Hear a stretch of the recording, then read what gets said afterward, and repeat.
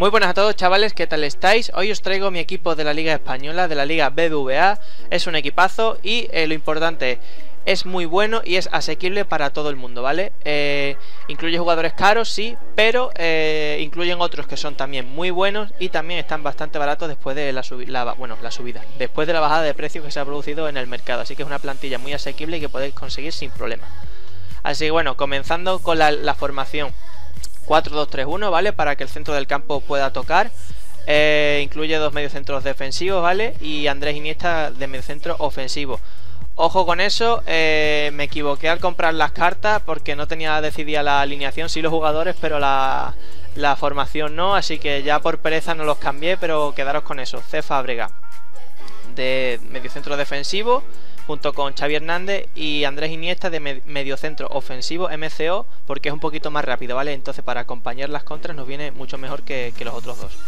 Bueno, comenzando por el portero, Iker Casilla, en mi opinión, el segundo mejor portero del juego, después de Manuel Neuer, y así lo dice la media. El único inconveniente que es un poquito bajo, pero para la, Liga Española, pues el porterazo que podemos conseguir sin ningún problema. Eh, si no tenemos a lo mejor tanto, pues eh, tipo Courtois, ¿no? Pero lo probé y no me convencía mucho, se las come un poco, ¿vale? Eh, Casilla sin duda. Eh, ya estáis viendo, pues 90 de reflejo, el salto, eh, porterazo. No hay mucho más que decir aquí. Bueno, la defensa, pues el lateral izquierdo, Jordi Alba, 92 de ritmo, es su, punto fuerte. Nos viene muy bien para intentar cortar el centro, bueno, el centro. Antes de que se produzca el centro, ¿vale? Con la velocidad podemos intentar evitar que, el atacante pues realice el centro, no tan, tan odiado por, todos en este juego. Y luego pues incluye, eh, bueno, incluye, eh, también el regate lo tiene bastante bien, así que cuando sube al ataque nos viene bien que tenga algún tipo de regate para realizar y poder zafarnos de, los rivales, ¿vale? Bueno, eh, pasamos al defensa central Sergio Ramos, para mí el mejor defensa del mundo junto con Thiago Silva. y bueno, punto fuerte de Sergio Ramos, la velocidad, es un central muy rápido, eh, que como ya sabemos comenzó de lateral y se reconvirtió en, central y bueno, pues triunfazo, ¿no? Punto fuerte también la defensa, 84 y de cabeza, ¿vale? De cabeza, ojo al dato, 86 te las clava en los corners y para despejar también muy bien, y lo digo siempre en casi todos los vídeos que eso es un dato muy importante, sobre todo para despejar balones, ¿vale? Y la velocidad. Bueno, eh, Piqué, más de lo mismo, es muy alto, nos viene también muy bien para lo que acabo de mencionar antes, es un poquito menos lento, pero eh, no importa, ¿vale? Tenemos a un hombre rápido como Sergio Ramos al lado y a otra moto que es Dani Alves que también está ahí. Y ojo, 86 eh, en defensa Piqué, ojo al dato. Y bueno, 1900 monedas que me ha salido, así que ya estáis viendo que el equipo es bastante bueno y muy barato, ¿no? Dani Alves, otra moto, para lo mismo que Jordi Alba, el más rápido que podemos tener de lateral derecho. Si no tenemos 13.000 monedas, pues Juanfran, que eh, vale bastante menos, creo que es mil y pico. Y es el sustituto, ¿de acuerdo? Eh, lo mismo, eh, para frenar, intentar que no la gente no centre. Y pues bueno, pues para el ataque, algún regate y algún zambopazo bueno puede, puede que tenga, ¿vale? el tiro, como digo, 72. Yo le pondría un poquito más, incluso 76, porque le mete bastante fuerte y, de lejos, ¿vale? Y nada, eh, centro del campo. Fábrega, ¿vale? Me gusta mucho, ¿vale? Es un poquito lento tal vez, pero mete unos muy buenos pases. Y el tiro, bueno, ya estoy viendo, 90 en pase. Y el tiro también es erróneo. Yo creo que tiene incluso 82-83. Me, la, me las clava de, fuera del área, ¿vale? Eh, y bueno, pues el regate también que nos viene muy bien para driblar a, los adversarios, ¿no? ¿no? No, es necesario que tenga a lo mejor 5 estrellas, ¿no? Pero siempre algún regatito que te puede, te puede sacar y te puede venir muy bien. Y 3.200 monedas, ¿vale? Y ahora vienen los dos más caros. Eh, Xavi Hernández, un pelotero muy bueno, pase 92, nos viene muy bien para hacer eh, los pases en largo, ¿vale? Arras de suelo sobre todo para, las contras a, a los extremos. Y bueno, pues el regate también, ojo, ¿no? 86, eh, son sus puntos más fuertes, ¿no? Tanto el regate eh, y el pase, ¿vale? Para eso lo, queremos, ¿no? Para tocar. Y bueno, 25.000 a lo mejor un poquito caro, pero bueno, merece la pena. Y Andrés Iniesta, el pelotero por excelencia, ¿vale?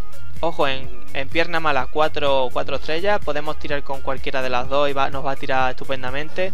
91 en regate, ya sabemos cómo regatea Iniesta.